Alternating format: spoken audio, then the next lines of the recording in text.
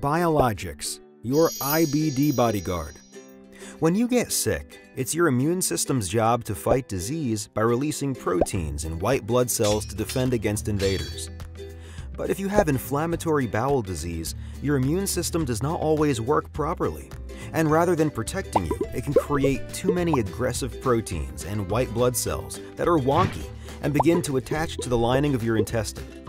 This in turn causes excess inflammation and ulcerations in your GI tract, which results in painful, debilitating symptoms that make living your life your way very difficult.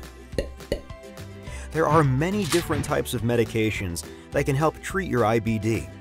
However, if it's moderate to severe, you may be prescribed a biologic if you have lost response to or can no longer tolerate your current treatment or are dependent on steroids.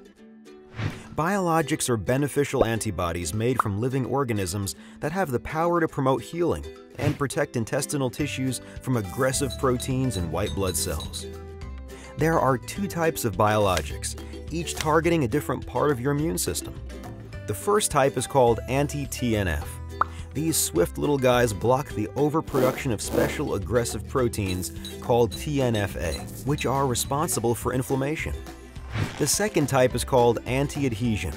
These guys act as bodyguards for the GI tract, blocking the wonky white blood cells from entering and causing inflammation. So how can you get your own mini bodyguards? Biologics can be administered in two different ways, depending on the type selected by you and your doctor. By IV infusion, performed by a healthcare professional at a clinic or hospital, typically every four to eight weeks, or by injection administered at home by yourself, a caregiver, or a healthcare professional, typically every one to two weeks. There are many benefits to taking biologics. They can help reduce symptoms, the risk of flares and the need for steroids, achieve and maintain remission, heal your intestines, and best of all, improve your quality of life. No therapy is not an option the risks associated with IBD far outweigh the risks of the medications.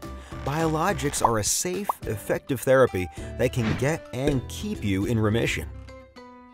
Speak with your doctor about biologic therapies to see what's right for you. Find out more at the Canadian Digestive Health Foundation's website www.cdhf.ca/biologics understand, take control, live better.